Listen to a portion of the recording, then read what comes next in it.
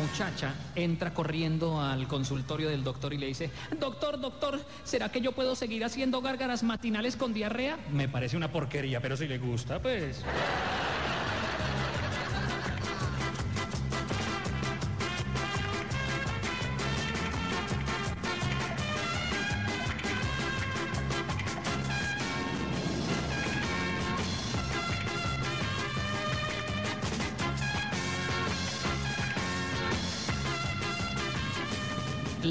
mayor de Benito tenía 18 años, se casó y se fue de luna de miel, pero pasaba algo raro. Cuando llegaron al hotel, se subieron a la habitación de luna de miel y resulta que duraron un día, dos días, tres días, cuatro días y a los cuatro días el gerente del hotel llama a la mamá de la niña y le dice, mire señora, estamos preocupados porque es que ella se metió de luna de miel durante cuatro días y pues no ha salido, ni siquiera han pedido alimentación ni nada. Entonces, por favor, venga. La familia completa se traslada al hotel y empiezan desde la recepción a llamar, pero ni siquiera contestaban.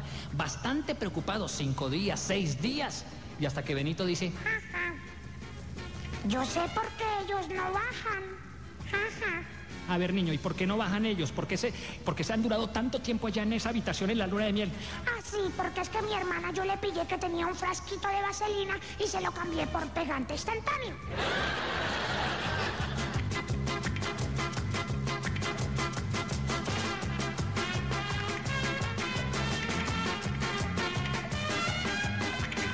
La rubia espampanante va caminando por el aeropuerto y de pronto, pues ella llevaba un vestido bastante tallado en el cuerpo, un escote realmente maravilloso, una minifalda bastante subida y la muchacha llevaba unos tacones bastante grandes, así es que cuando está caminando de repente da un mal paso y cae, pero cae aparatosamente, abre las piernas al caer y entonces venía un tipo detrás y empieza a reírse. Claro, la rubia se para bastante enfadada y le dice, por lo que yo veo, usted no es un caballero. Y le dice el caballero, le dice, y por lo que yo veo, usted no es completamente rubia.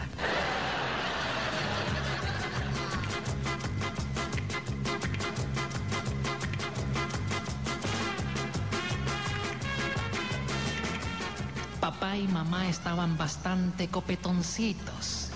Tenían ganas de tener una relación íntima, pero el niño Benito estaba justo en medio de los dos. Entonces ellos empiezan a hacerse señas. Eh, Benito, ¿te vas a tu habitación a ver televisión? No, Eh, a ver, Benito, ¿por qué no sales y juegas en la bicicleta? no. A ver, Benito, hagamos una cosa, mi amor. Si tú te sales ahorita de la habitación, mañana te hago un flan de caramelo de esos que tanto te gustan. No, Bueno, entonces, ¿qué carajos quiere? yo quiero ser hijo único.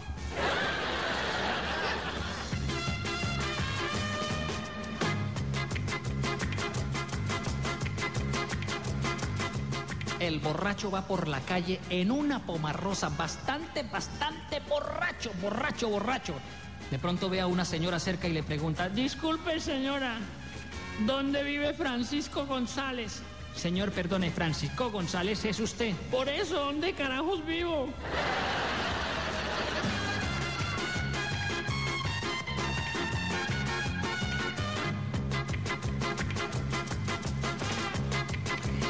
Créanlo ustedes que yo estoy acostumbrado a trasnochar. Yo soy dormilón, pero me encanta durar hasta avanzadas horas de la madrugada. Y a veces para mí los problemas que se suelen suscitar en la noche pues no son inconveniente. Así pasó precisamente hace poco porque es que había una pareja que justo se paraba enfrente de mi casa y empezaban con el cuchicheo y los besos y los amoríos y eso era pues algo que no deberían ver mis hijos. Así que un día decidí ponerle punto final a la cuestión. Llegó la parejita esa y entonces yo cogí un baldado de agua y se lo tiré. Y ya. Media hora más tarde llegó mi mujer un poquito lavada, pero...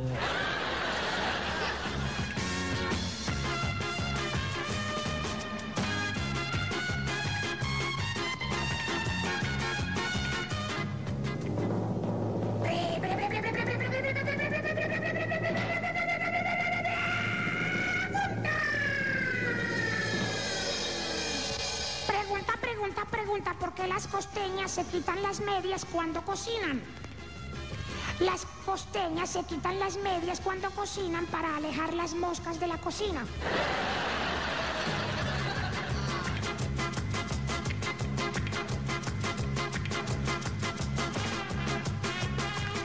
Él le dice a ella, mi amor, si quisiera hacerte el amor, ¿pedirías ayuda? Siempre y cuando la necesites, sí.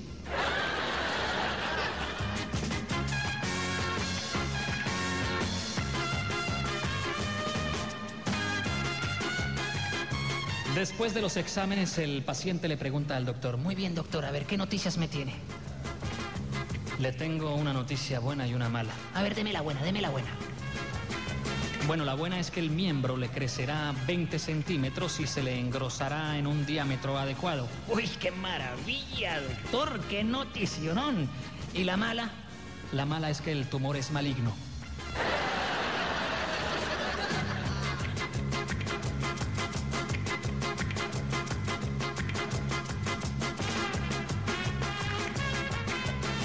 Llega a visita a la casa de Benito y entonces Benito le pregunta a la señora, Señora, ¿dónde dejó las ramas?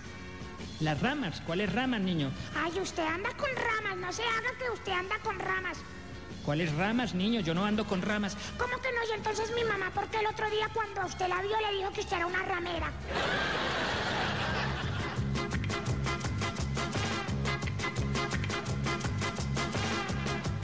Para que ah, nos entendamos en los términos internacionales, follar en España quiere decir lo mismo que tirar acá en el doble sentido.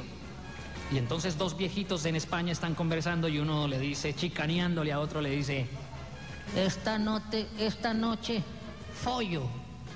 y el otro le dice, Y yo esta noche furé de fafas.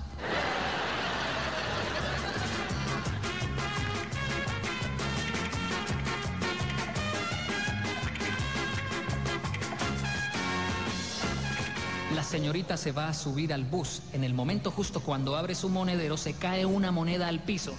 La señorita se va a agachar a recogerlo y un abuelito también se agacha a recoger la moneda, pero la cara del abuelito queda preciso en, las nalgas de la muchacha y se, y se escucha un ruido raro. Claro, la muchacha se levanta bastante apenada y el abuelito le dice, ya no lo busque más, ya me lo comí todo enterito.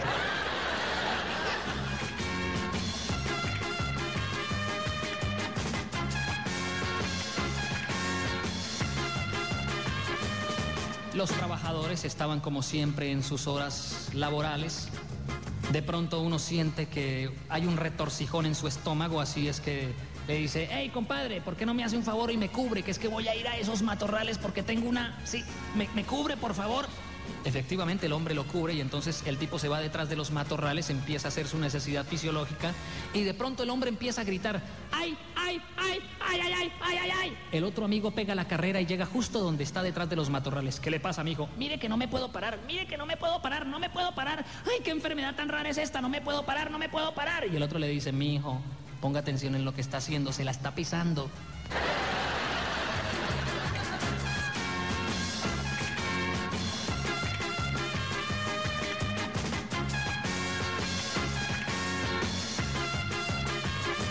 Esto sucede en España. Dice que un hombre entra a un restaurante, Señor mesero, me hace el favor y venga para acá. el mesero llega, A la orden, caballero.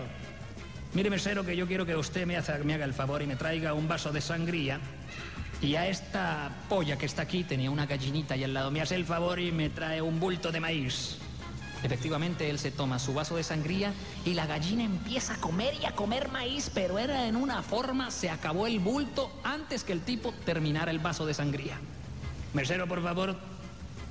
Mesero, hágame un favor, me trae otro vaso de sangría y vamos que a mi gallina me hace el favor y me le trae otro bulto de maíz. Con gusto, caballero. Efectivamente, le trae el vaso de sangría al señor y la gallina empieza a comer y a comer y a comer y a comer maíz. Media hora más tarde, Caballero, por favor, venga, me hace el favor y me trae un vaso de sangría y a la gallina me hace el favor y me le trae otro bulto de maíz. claro, ya el mesero le pregunta, Disculpe, caballero, que yo le voy a hacer una pregunta a usted. Porque es que yo nunca he visto que un animal, que una gallina coma tanto. Ah, bueno, eso tiene una explicación lógica. Mira que el otro día iba caminando por la calle, de pronto que me encuentro yo con la lámpara de Aladino y que de pronto la voy frotando y sale el genio. Y el genio me dijo, bueno, yo te voy a conceder un único deseo. Yo le dijo, bueno, la verdad es que yo quiero tener una polla insaciable. Y mírala, aquí está comiendo, comiendo.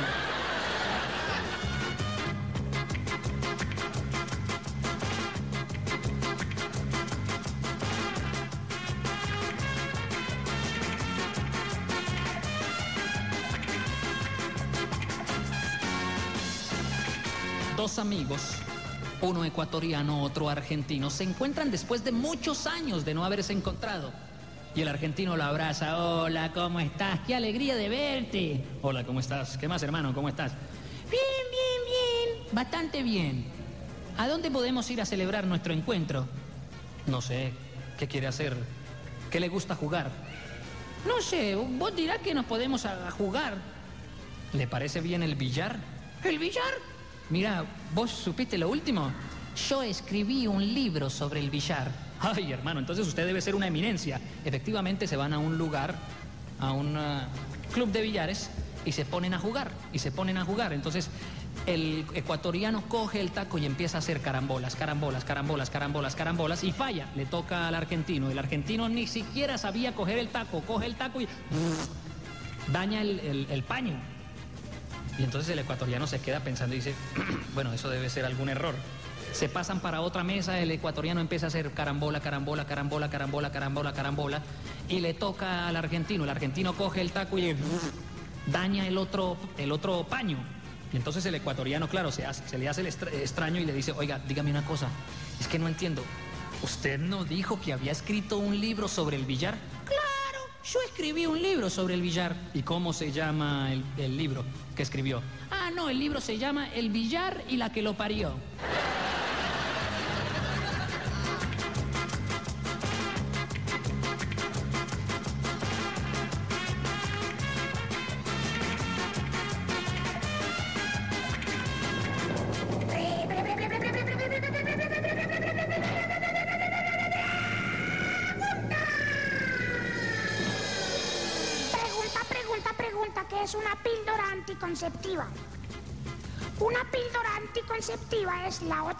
Se le puede poner en la boca a la mujer para que no quede embarazada.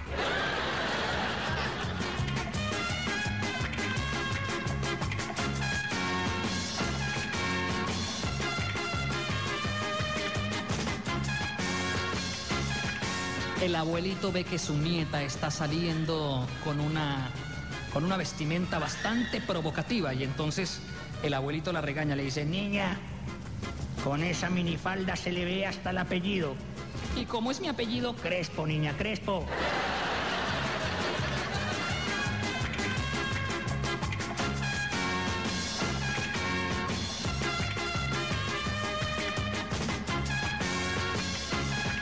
Benito se encuentra un preservativo en la casa y le dice a la mamá, Mami, mi papá, ¿por qué escupe todas las noches en estas bombitas?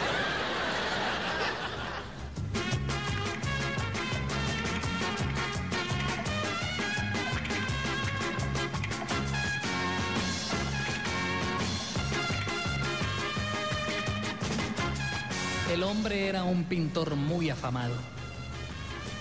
Aquella tarde trabajando en su casa, fue a orinar al baño, pero se dio cuenta que el bizcocho, o sea, que la parte que recubre el orinal, el segurito que tienen los orinales para que las mujeres se sienten, pues estaba bastante deteriorado, así que decide darle una mano primero con pegante para después pegarle un papel especial. Entonces empieza él a untar el pegante, lo deja secando durante algunos minutos y justo en ese momento entra la mujer con una necesidad fisiológica apremiante, entra al baño y se sienta y queda pegada. Claro, tratan de despegarla como puede, la mujer no pueden, lo único que logran hacer es desenroscar el bizcocho, pero la mujer queda con eso pegado a las nalgas. Y entonces el hombre, el pintor, llama a un amigo que era médico.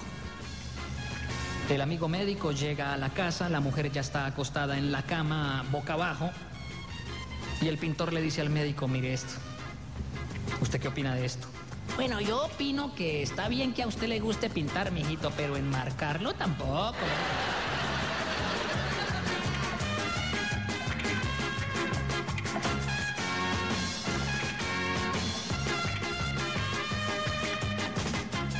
Suena el teléfono y entonces contesta el veterinario. Aló, aló, mire señor, qué pena molestarlo a esta hora de la madrugada, pero es que resulta que mi perro y, mi, y, las per- y la perra de la calle están pegados. ¿Qué hago para despegarlos?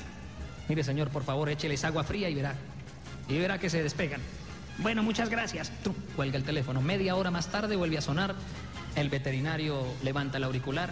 Qué pena, señor, tener que molestarlo a esta hora de la madrugada, pero es que el perro y la perra todavía siguen pegados. ¿Qué hago? Mire, señor, por favor, pégueles con la escoba. Pégueles con la escoba y verá que los despega. Bueno, señor, qué pena. Cuelga. Una hora más tarde vuelve a sonar el teléfono. Mire, señor, qué pena con usted. Qué pena, qué pena molestarlo, pero es que el perro y la perra no se han separado. ¿Qué hago? Mire, haga una cosa. Vaya y dígale al perro que lo llaman por teléfono. Oiga, ¿y eso sí va a funcionar? No sé en el caso del perro, pero en el caso mío ha funcionado ya tres veces, señor.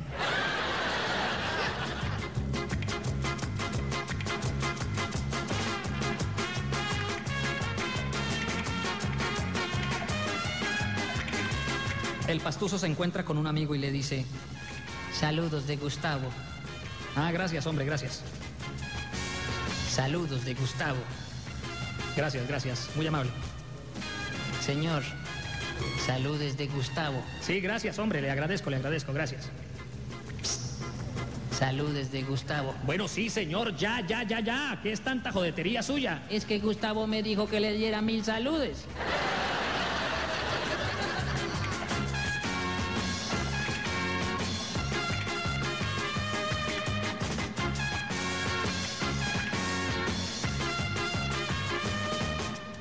Queriendo ocultarle a Benito lo que en realidad estaba pasando, Benito le pregunta, Mami, ¿qué están haciendo esos dos perritos? mire cómo se mueven, mire. los perritos estaban copulando y la mamá queriendo ocultarle le dice, Benito, lo que pasa es que... eh, eh, eh, los perritos, lo que pasa es que lo que, lo, que, lo, que, lo que pasa con los perritos es que... Ay, mi amor, los perritos están pegados. Uy, los pegaron. Sí, por ahí algún degenerado los pegó. Con lo feo que debe ser que a uno lo peguen cuando uno está tirando, ¿cierto?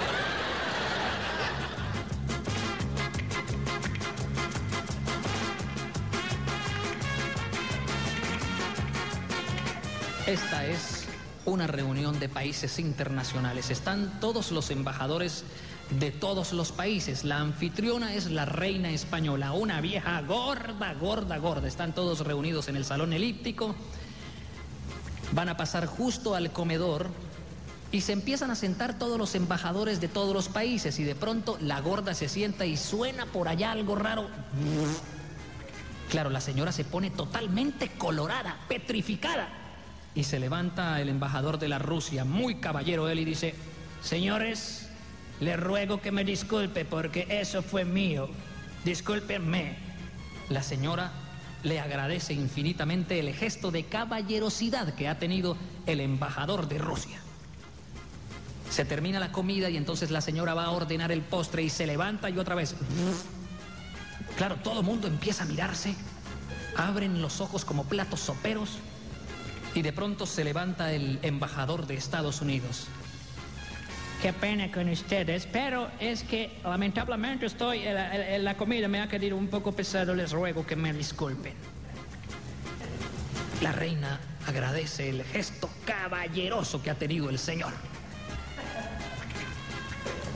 Se termina el postre y entonces van a ir a la sala a tomar el café y la señora justo se para y vuelve otra vez. Y todos se miran y entonces ya se para el sultán y el sultán dice, le ruego que me disculpe, pero la verdad cuando uno come mucho eso suele suceder, le ruego que me disculpe. La reina le agradece infinitamente a él. Y se para el embajador de Colombia y dice, bueno, el próximo pedo de la señora sí va por cuenta de mi país.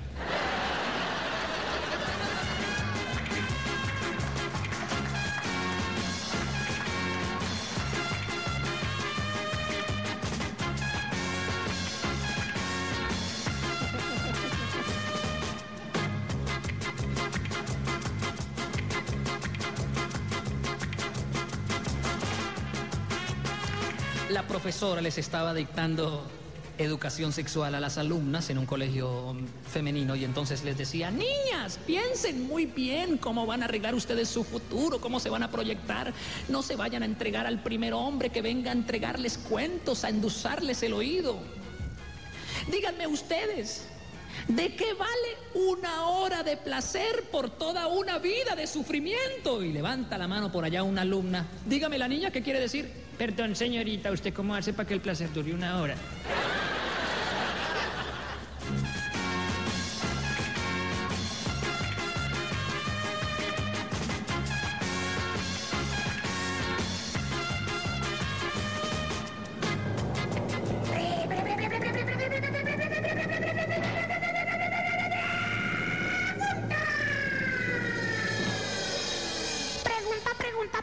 ¿Por qué las negras no dejan que sus hijos jueguen en el cajón de arena?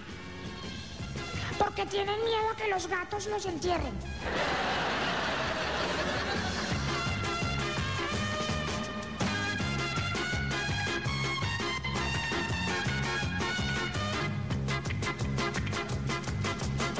El mariquita estaba a orilla del mar y de pronto le dieron ganas de ir a echarse un chapuzón y él metiéndose al mar con esa delicadeza. ¡Ay, qué agua tan fría! Y se mete al mar y resulta que viene una ola y lo revuelca y lo tira lejos y entonces, ¿qué pasa? Que el mariquita empieza a ahogarse. Entonces su compañero que estaba en la orilla, ¡ay, Marto Patricio, te vas a ahogar, te vas a ahogar! ¿Qué es esto? Se tira al mar, llega nadando hasta donde está él y lo saca y lo pone a orilla del mar y empieza a darle respiración boca a boca. Pero ¿qué pasa? Que entre más respiración boca a boca le daba, más agua le sacaba de la boca y le sacaba agua de la boca y escupía, y le sacaba agua de la boca y escupía, y le sacaba agua de la boca y escupía, y le sacaba agua de la boca y escupía. De pronto pasó un salvavidas y le dijo, óigame señor, por lo menos sáquele el rabo del agua, sí.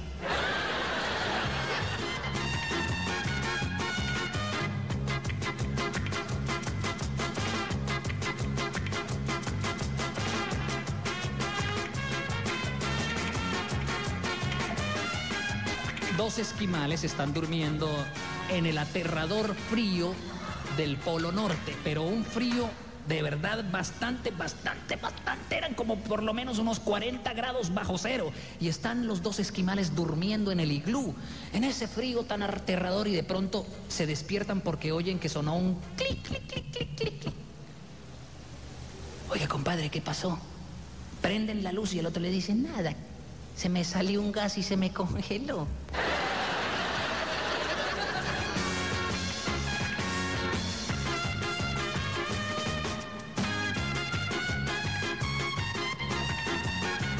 El pastuso se va a pasar la luna de miel a Salinas. Y cuando sale del hotel le pregunta al señor, al administrador del hotel, señor, ¿cuánto le debo? Y el dueño del hotel, el administrador, le dice, señor, me debe mil por cada uno. Le pagó ocho mil. Y eso que alcanzó a tumbarle tres mil.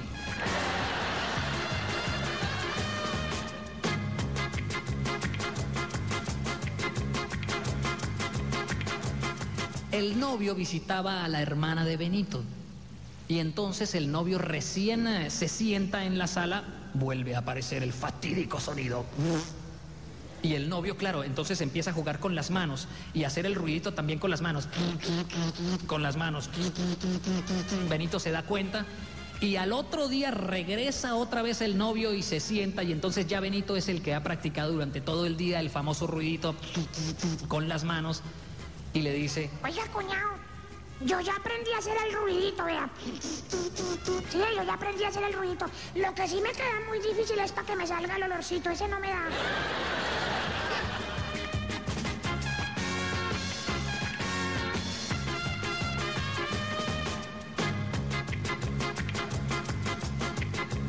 Papi, papi, nosotros aquí en la casa tenemos que dejar de tomar tanta leche.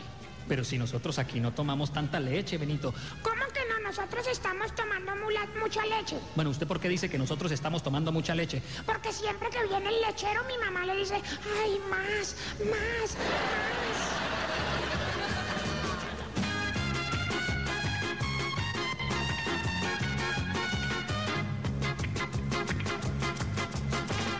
Doctor, usted tiene que ayudarme con mi problema.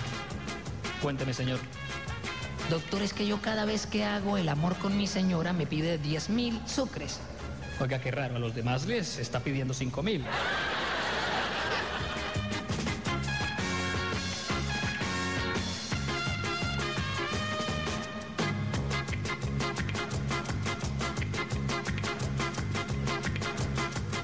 Dime una cosa, Romualdo, ¿tú haces el amor con la misma? Hombre, sí, con la misma, pero con diferente mujer.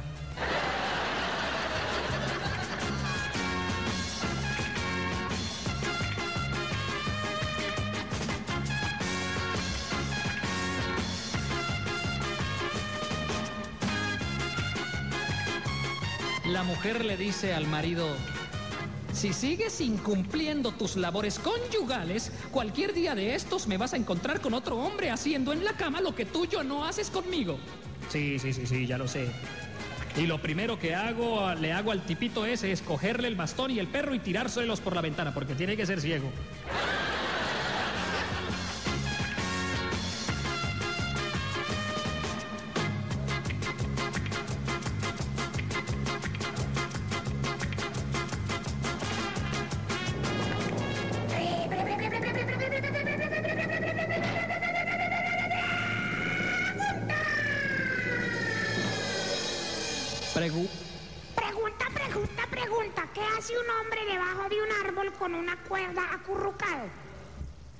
Hace popó. y la cuerda. Ah, bueno, esa es para espantar a los mirones.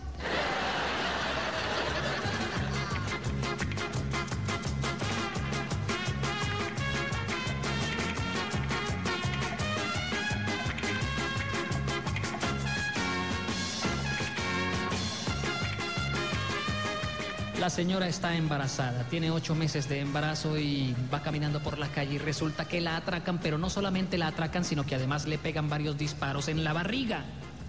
Y entonces, claro, tratan de hacerle una operación, pero no pueden porque cada una de las balas ha quedado alojada en el cuerpo de cada una de las tres criaturas que ella tiene en la barriga. Entonces, el doctor después de hacer el análisis le dice, mi señora, no se preocupe, los niños van a nacer normales. Cuando los niños cumplan 15 años, cada uno va a botar la bala por el chichi. Ah, bueno, doctor, qué bueno, por lo menos no les pasó nada. Efectivamente, los niños nacen, pasan 15 años. De pronto llega uno de los niños corriendo al lado de la mamá y le dice, Mami, mami, imagínese que yo estaba orinando ahorita y cayó una bala ya en el inodoro. ah, eso no se preocupe, mi amor, que eso es normal.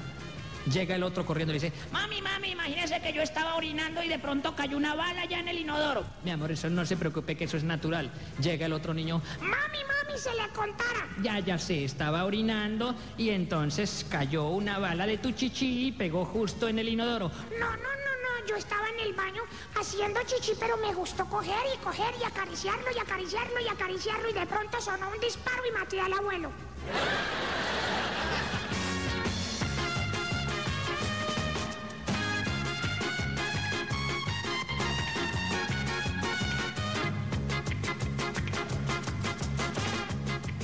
La mujer recibió la visita de su amante. Estaban en pleno romance cuando de pronto ella gritó, mi marido, mi marido, rápido, rápido, escóndete en algún lugar. El hombre se mete en el closet.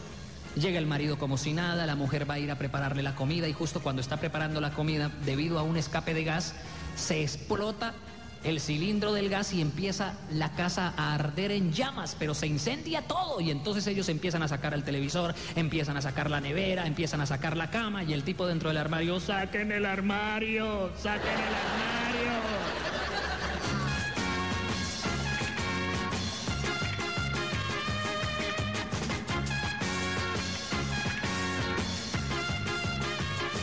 Los dos vivían aquí en Ecuador. Eran, ah, ¿cómo le digo?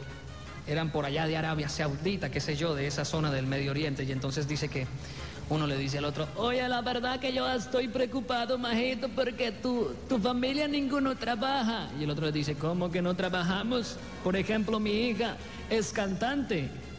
Y mañana debuta. Y le dice el otro, debuta o de lo que sea, pero es bueno que trabaje.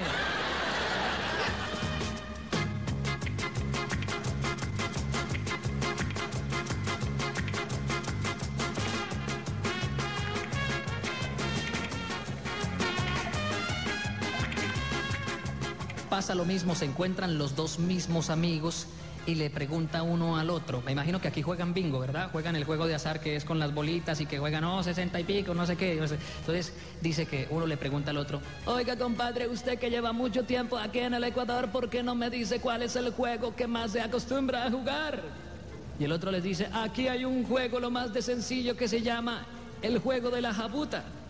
¿Y cómo es el juego de la jabuta? El juego de la jabuta es así, todo el mundo...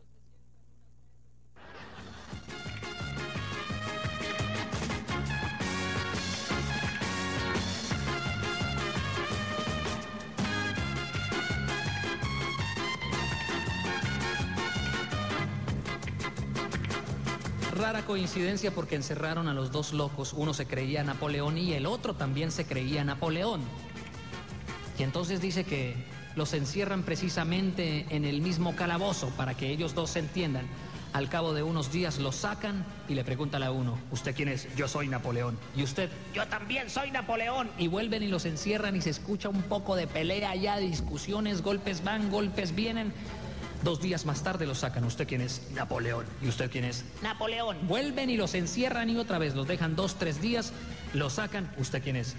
Yo soy Napoleón. ¿Y usted? No, mire, sabe que yo soy Josefina.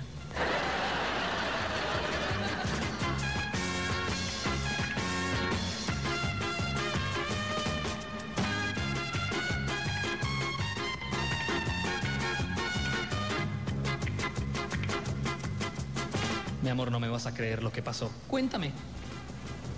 Imagínate que estábamos todos trabajando, como es nuestra costumbre, limpiando los vidrios en los edificios. Y yo estaba más o menos en un andamio con un grupo de 15 compañeros limpiando las ventanas del piso 15. De pronto a mí me dieron como ganas de ir al baño a, hacer una necesidad fisiológica. Entonces yo bajé, entré al baño y justo en el momento cuando yo entré al baño, el andamio se fue a tierra y se mataron los 15. ¡Ay! Vea lo que son las cosas de Dios, ¿no? Cuando uno no está para morirse, no se muere y no se muere y no se muere. Pues sí. Hoy inclusive fueron las viudas allá a la empresa, fueron a reclamar cada una, cada una reclamó un seguro por 800 eh, millones eh, de sucres. Ah, muy bonito, ¿no?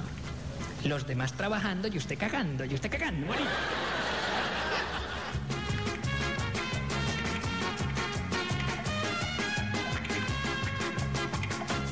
Llega el bus a la parada final y dice el conductor, los de atrás por favor, apéense.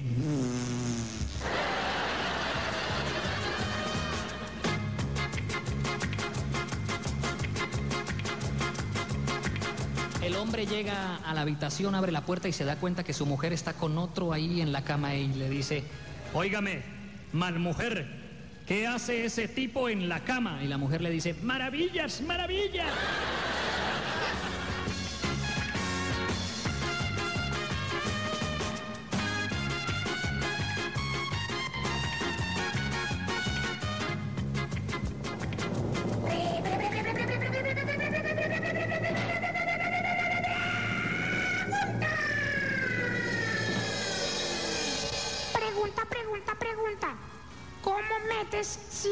100 etíopes en un Volkswagen? Le tiras un pedazo de pan adentro.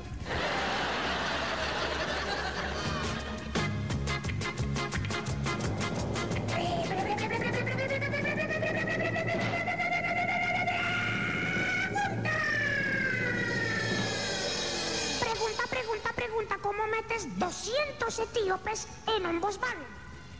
Al pedacito de pan le untas mantequilla.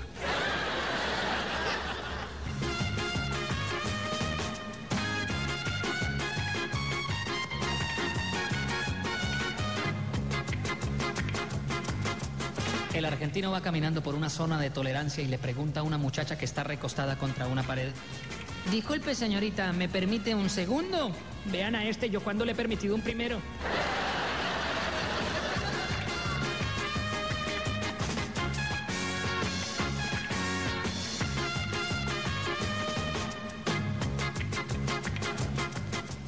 Estaba enseñando a su hijo para qué servían los dedos. Hijo mío, tú ahora que tienes siete años te voy a explicar para qué sirven los dedos. Mira, este dedo pequeñito que tienes acá es el dedo de la limpieza porque con él te puedes limpiar la oreja, te puedes limpiar la nariz.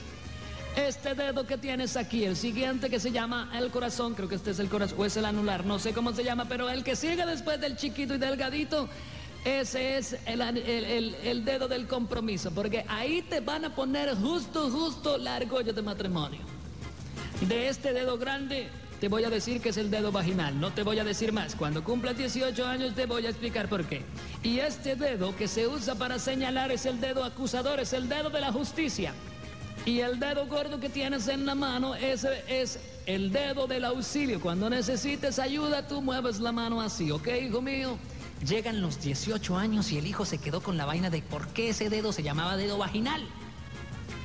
Entonces el niño le pregunta, o el muchacho, Padre, yo quiero que ahora usted por favor me explique ahora sí por qué este dedo del centro es el dedo vaginal. Y le dice el padre, muy sencillo, hijo, tú cuando vas a coger un libro y estás leyendo necesitas mojarlo en la lengua y entonces pasas la página 1, la página 2, la página 3, la página 4.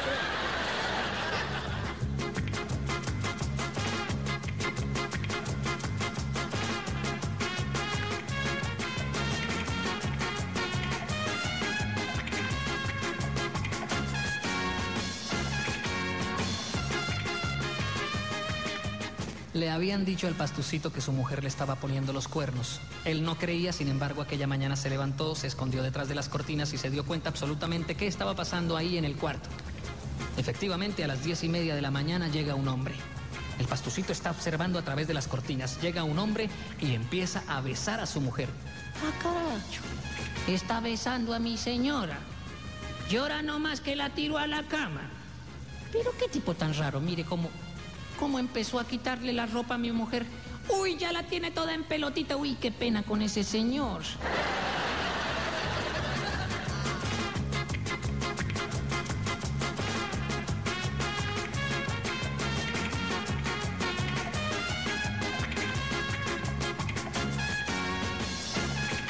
Entre personas que no tienen un concepto de la educación, se significa el siguiente chiste. El hombre lleva a un amigo a la casa y le quiere ofrecer té. Entonces le dice, María, calienta té para dos. Y le dice ella que se caliente la zorra de su hermana, porque yo no...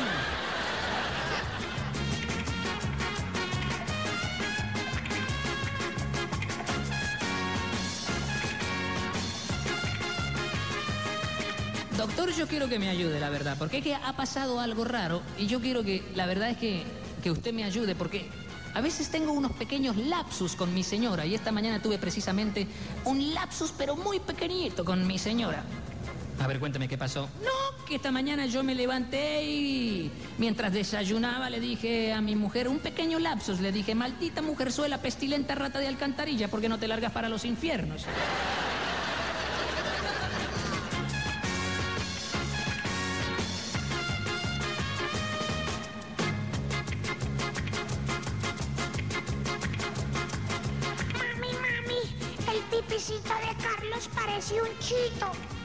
Qué, mi amor? ¿Por lo pequeño? No por lo salado.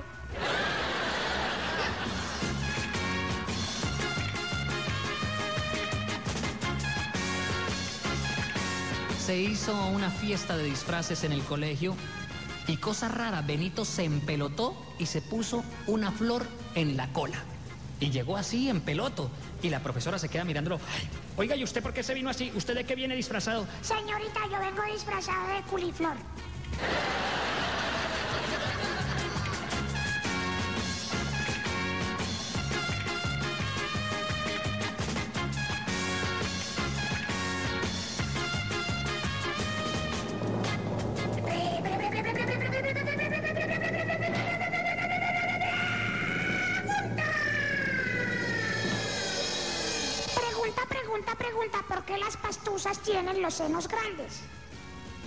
Porque los bebés pastuzos en vez de chupar, de chupar soplan.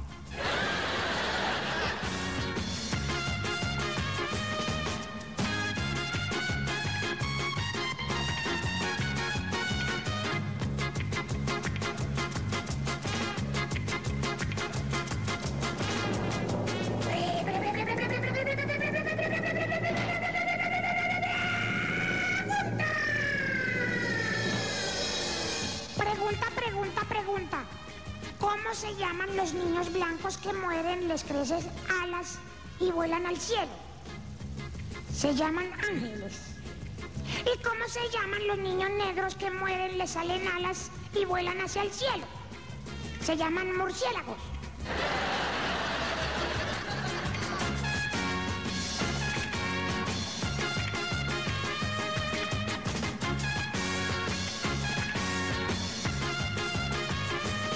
Comentaba el niño Benito a su mamá. Mm, Mami, mm. mi papá tan grandote, tan grandote, y el otro día lo encontré jugando con una muñeca.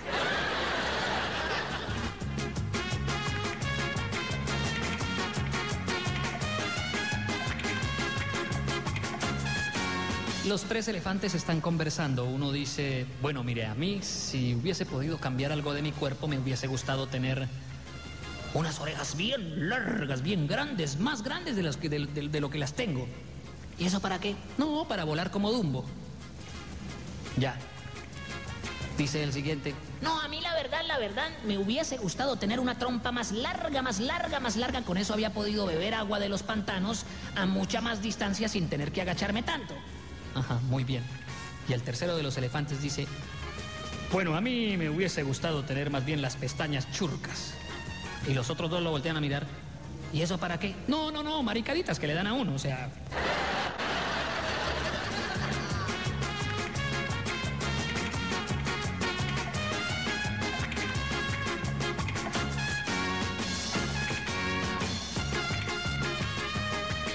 Dos mujeres de la calle están hablando y una le dice a, a la otra, Ay, mija, pero por lo menos mientras estamos hablando, deje de mascar chicle. y le dice la otra, ¿cuál chicle? Es el preservativo del cliente anterior.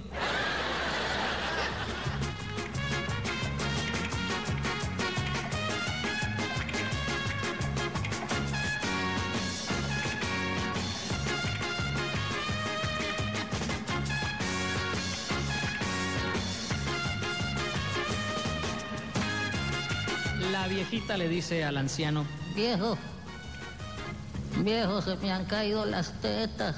y el viejito le dice, Eso a su edad es normal. Sí, pero es que no las encuentro.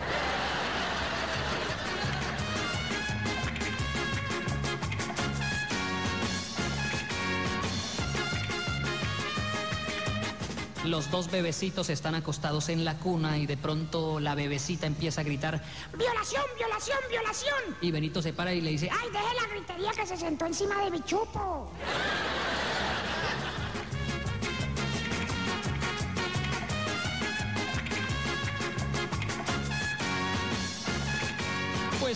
Querida, yo la verdad soy una santa. Ay, a usted no hay que creer que usted es una santa. ¿Por qué dice eso? Ah, imagínate, yo perdí mi virginidad en una iglesia.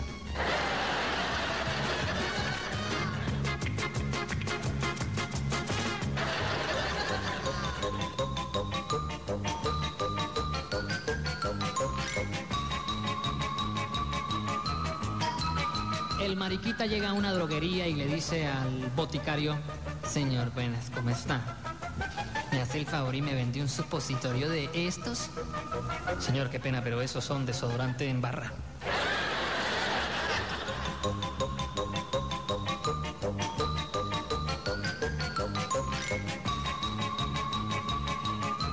El cura exhortando a todos los habitantes del pueblo empieza a decirles, La verdad es que he notado que en este pueblo se ha venido multiplicando el pecado. He notado que la señora Gómez ha cometido pecado mortal con el señor Orduz. He notado de igual manera que el señor Bermúdez ha cometido pecado mortal con la señora Martínez. He notado de igual manera que la señora Castro ha cometido pecado mortal con el señor Benguechea.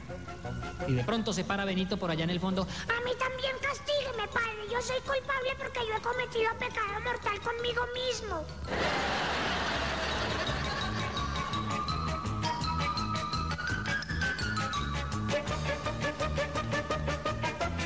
El hombre llega a un prostíbulo y entonces pregunta por los precios a la matrona. Mire, señor, aquí le vale 500 mil en el tercer piso, 400 mil en el segundo piso, 300 mil en el primer piso, 200 mil pesos, 200 mil eh, sucres en el sótano y 10 mil en la bóveda.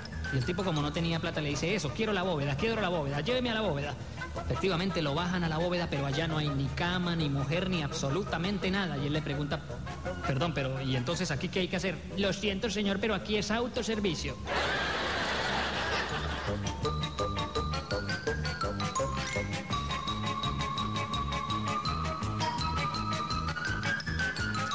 Cosa rara, el argentino le dio por bañarse totalmente en peloto en la playa. Y sale después del mar totalmente desnudo, pero con un pipicito que eso era, eso daba lástima. Mirar, eso era un pitillo chiquitico, chiquitico, chiquitico. Y todo mundo lo voltea a mirar y el argentino se queda mirando a la gente y dice, ¿qué, qué, qué pasó? ¿Nunca han visto un hombre con una erección?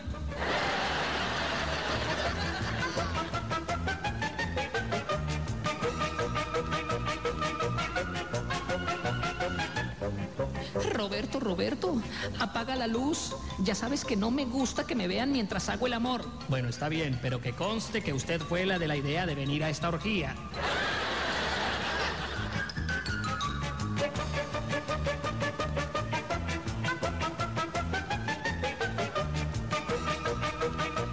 Dice que la pareja estaba pasando por una situación bastante precaria, o sea, no tenían dinero, no tenían cómo vivir, prácticamente que ya no había nada más que hacer. Así es que la mujer le dice al marido, mi amor, pues si quieres, por una sola noche yo me disfrazo de mujer de la vida fácil y me voy a la zona de tolerancia y, y pues recolecto plata. Ah, no, eso sí que no.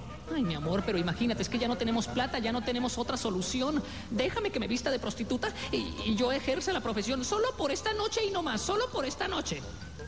Bueno, está bien, está bien, pero solo por esta noche.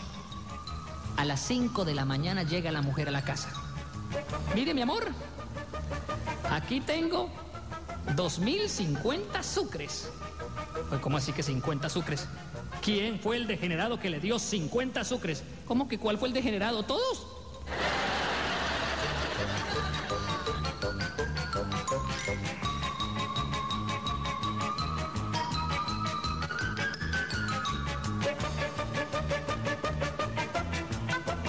Costeña caminaba con el hijo costeñito, con el niñito. Y entonces de pronto van caminando por la calle y ven un burro en primavera. Esa vaina pareciera un trípode. Y entonces el niño se queda mirando al burro y dice, Uy, mami, mira ese burro cómo se parecía a mi papá. Y la mamá le dice, cállate chico, que tu papá no tiene las orejas tan largas.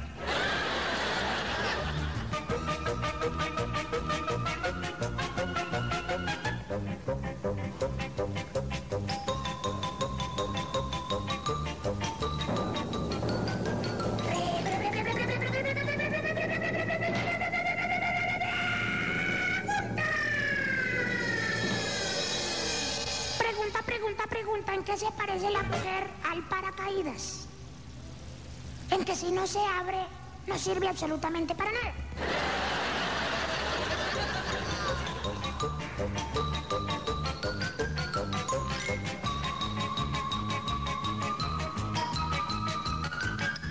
El hombre termina de hacer el amor con su esposa y le dice, ¿te ha gustado Carmen? Y ella responde, ¿qué?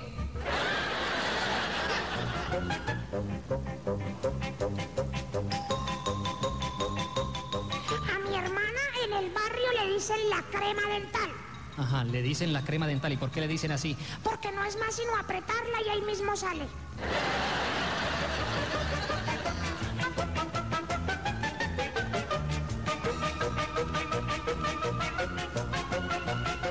El borracho se sube al bus pero era un borracho ya en un estado tan letargante, vuelto una piltrafa humano, oliendo a mil demonios, asqueroso el borracho con la camisa por fuera, bastante vomitado, con los zapatos andrajosos, oliendo a bromidrosis, en fin, era una cosa horripilante. Y justo se sienta al lado de una señora de esas de alcurnia, de alta sociedad. El borracho de pronto saca un cigarrillo y empieza a fumar dentro del bus. Claro, la señora empieza, Dios mío, ¿qué es esto? Se fuma el cigarrillo el borracho y de pronto clava pico, o sea, se queda dormido. Y empieza... De pronto por allá de los estertores anales del borracho empieza a brotar un olor nauseabundo, pero nauseabundo. Entonces la señora lo despierta de un codazo y le dice, perdone la pregunta, el señor se poposió, ¿cierto? Y el borracho le dice, sí señora, ¿por qué? Si se poposió, ¿por qué no se va? Es que todavía no he terminado.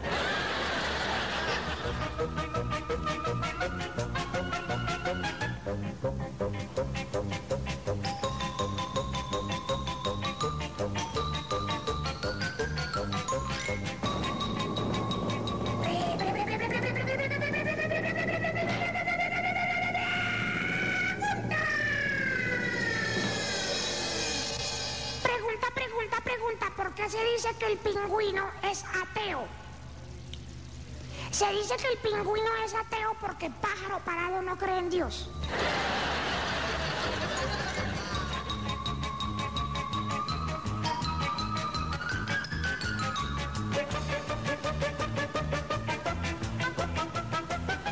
El avión iba a aterrizar en el aeropuerto y el controlador era un pastuso y entonces empieza a pedir auxilio el piloto de la nave. Empieza a decirle, Auxilio, Mayday, Mayday, me- ayúdenme por favor, ayúdenme por favor, señor controlador, necesito pista, necesito pista, por favor, necesito pista. y el pastuso le dice, bueno, ahí va una pista. Es redondo, negrito, entra y sale calientito. ¿Qué es?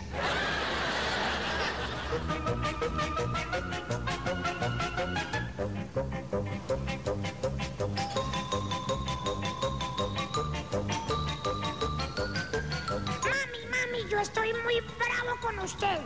¿Por qué, mi amor? Ay, ¿por qué, mi amor? Porque usted anoche estuvo comiendo pollo con mi papá y no me dieron. ¿Cómo así nosotros no comimos pollo? Ah, no. Yo pasé por la habitación de ustedes y mi papá le estaba diciendo a usted, mija, écheme la otra pierna.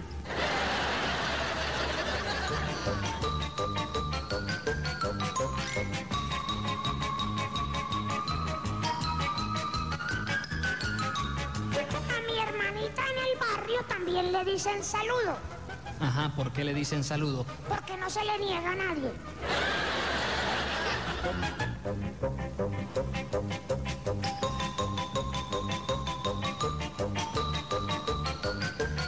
Los dos bebecitos están compartiendo francas opiniones y uno le dice al otro, Oiga, Benito, la verdad, la verdad. A mí no me gusta tomar tetero en el biberón porque es que esa goma amarilla sabe feo, feo, feo. Ja. En cambio, yo no prefiero compartir la tetica con mi papá. Usted sabe que es compartir una tetica con un tipo que se fume 20 paquetes de cigarrillos al día.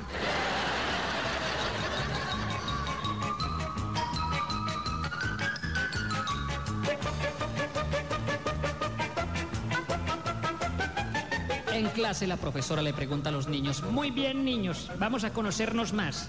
A ver, por ejemplo, usted, niño, usted, el cabezoncito, el flaquito, el jetoncito, a ver, párese. Dígame una cosa. ¿Quién prepara la comida en la casa? Señorita, en la casa, mi mamá es la que prepara la comida. Muy bien, su mamá es la que prepara la comida y dígame, ¿y su papá? Él se la come.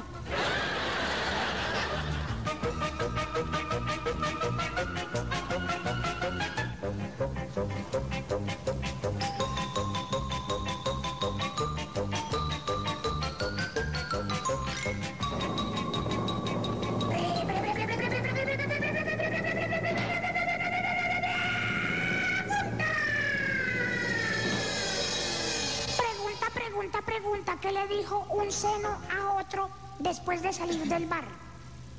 Le dijo, uy, mija, coma- cojamos un taxi porque estoy mamada.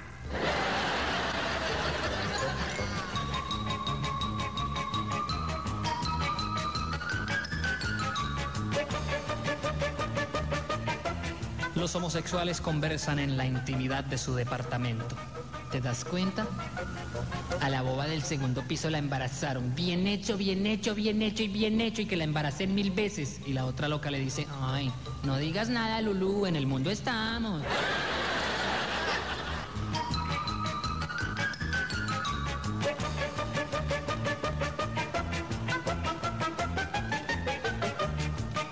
El hombre llega a la casa, abre la puerta de su habitación y se encuentra con que su mujer está acostada con otro tipo ahí en la cama. Y entonces Les pregunta, oiga, ¿quiere usted, señor, decirme qué hace metido en mi casa, estando en mi pieza, acostado en mi cama, copulando con mi mujer? y el tipo se levanta y dice, ya me había dicho su mujer que usted era experto para hacer preguntas estúpidas.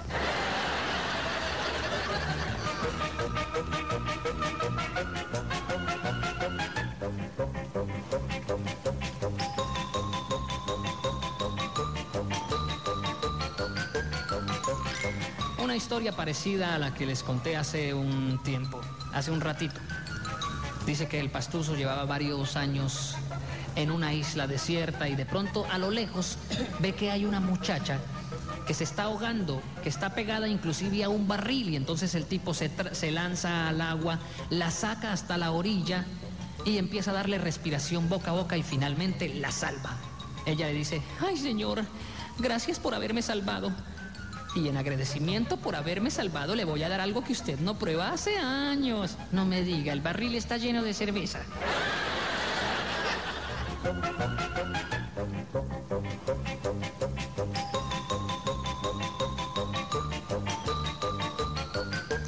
Papi, yo quiero que usted me explique cómo es el sistema de gobierno en nuestro país. Ajá. Bueno, mijo, a ver, vamos, le voy a poner un ejemplo bien fácil. Yo soy el que traigo el dinero a la casa, o sea, yo soy el capital. Todos hacemos lo que tu madre quiere, o sea, ella es el gobierno. La muchacha del servicio es la clase obrera. Y tu hermanito el bebé es el futuro de la patria. Ah, ya. Ya entiendo, o sea que mientras el gobierno duerme plácidamente, los capitalistas se aprovechan de la clase obrera mientras el futuro de la nación sigue poposeando.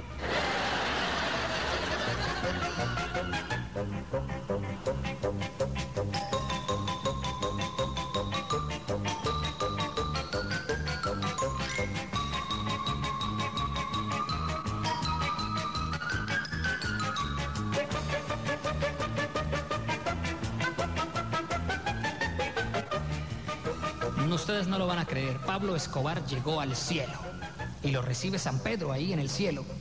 Y San Pedro le dice, ¿usted es Pablo Escobar? Sí, señor, yo soy Pablo Escobar. ¿Pablo Escobar, el que tenía miles de millones de dólares? Sí, señor. ¿El que tenía una de las fincas más grandes del mundo? Sí, señor. ¿Que tenía un zoológico privado? Sí, señor. ¿Con toda clase de animales exóticos? Sí, señor. ¿Con caballos que valían una fortuna? Sí, señor. Bueno, ¿por qué tanta preguntadera? No, es que si eso era todo lo que usted tenía allá abajo en la tierra, el cielo le va a parecer una porquería, mijo.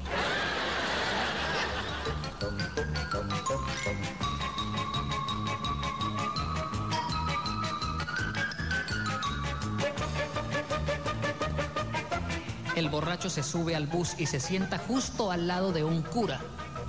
Pero el cura pues siente como aversión, no le gusta que esté el borracho ahí al lado. Y el borracho en una juma oliendo a mil demonios. El padre del cura para tratar de distraerse saca un periódico y empieza a leerlo. Y entonces, claro, el, borracho le pregunta, disculpe padre, ¿la artritis de qué da? Y entonces el padre, como estaba de muy mal genio por ver el estado atorrante del borracho, le dice, pues mire, hijo mío, la artritis se produce de andar vagabundeando con prostitutas, andarse emborrachando y andar fumando a toda hora. El borracho se queda callado y simplemente se pone a mirar a través de la ventanilla. El cura se queda reflexionando y dice, yo soy un mensajero de Dios y no tengo por qué hablarle así a las ovejas descarriadas.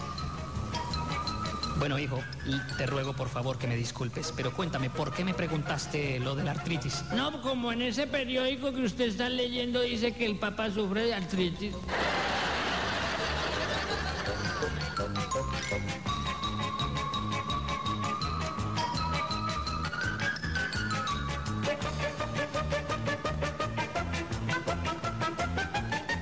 Desgraciado, yo ya me enteré de todas sus andanzas. Yo sé que usted está saliendo con una vieja, que además le compró un apartamentucho y que además usted se va a dormir con ella. Y él le dice, no, un momentico, vieja, vieja usted, ella tiene 21 años. Apartamentucho, apartamentucho este, ella tiene un penthouse. Y a dormir, a dormir con usted, ella no me deja dormir.